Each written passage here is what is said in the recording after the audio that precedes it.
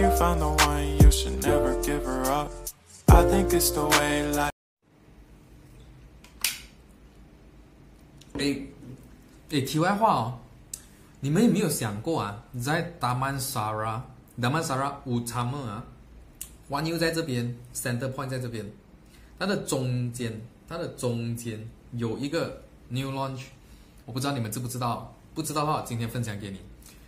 一家一房，价格哦，价格哦，Before discount before rebate 是三百五十千到三百八十千。Before rebate 哦，它的地点是在 Damansara One Utama Center Point 的中间。如果我有个朋友，刚刚我会跟他分享，他讲，哎，走路可以到 One U 吗？我讲，呃，可以的，走得到的。你走一个大概十五到二十分钟啦，因为马来西亚人走路很慢，但是你驾车非常非常的靠近。你们想知道更多，直接 PM 我，会跟你分享。这一个 property 是经由我们的分析，它即将会是很高 rental yield，因为那一个地区 demand 非常高。第二，location 不用我讲，哎，Damansara 非常的好。第三，low density 少过一千间，它是 below 一千间的哦，实际几多间我不要说。机会难逢，要就 PM 这一边，哎，不要 comment，直接 PM 我吧，inbox 我。有我电话的直接 call 我啦，不要省那一点点钱，OK？拜。If you found the one, you should never give her up. I think it's the way life changes when it. 嘿，今日房地产知多啲。今天呢，为我们大家带来第一集，而且也是我看了一个文章，觉得蛮心痛、蛮心碎的，所以要跟大家分享一个东西，就是，呃，那个文章就说，诶，有一些人买房地产，他既然买的越来越穷，我就奇怪怎么回事？因为我身边的人大部分哦，我跟我认识，我们都有聊天的，都是越买越有钱。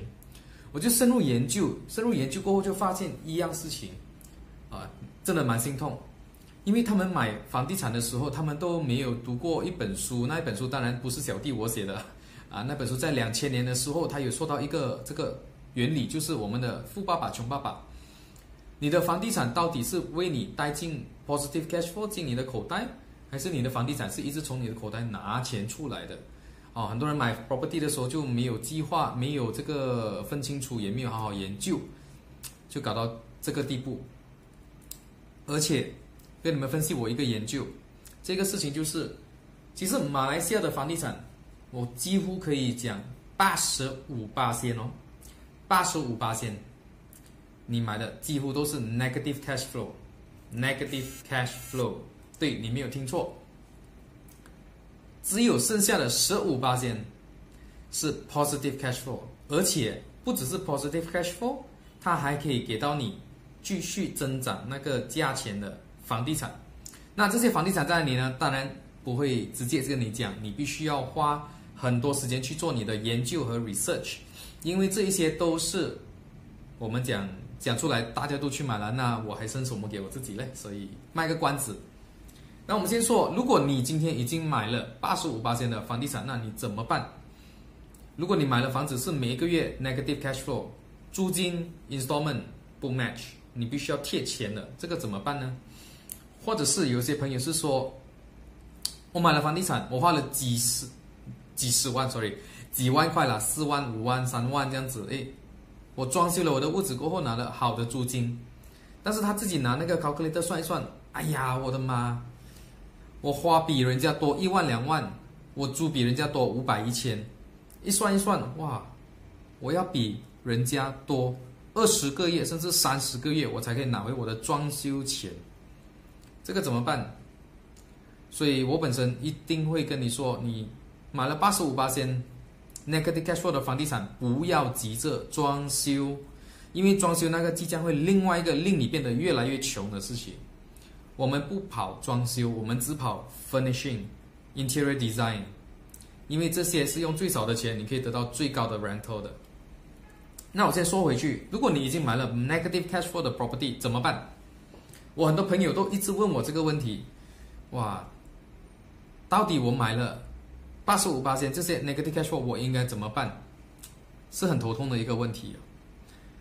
第一，你一定要换你的 game plan。事实改变不了哦，negative cash flow 就 negative cash flow。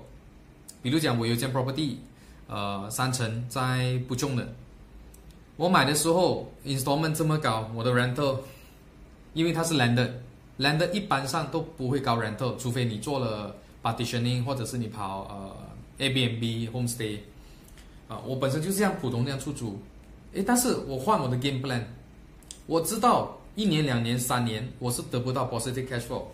但是我很明确知道我的 market research，它是作为的 future booster，而且它的 new launch 在旁边的，它的价位到哪里我很清楚知道。也就是这个让我知道我要换我的 game plan 了。Negative cash flow 没关系，给他 tenant 帮我还 installment，我 OK good good，因为 tenant 至少帮我还了七十八千，三十八千我自己贴而已。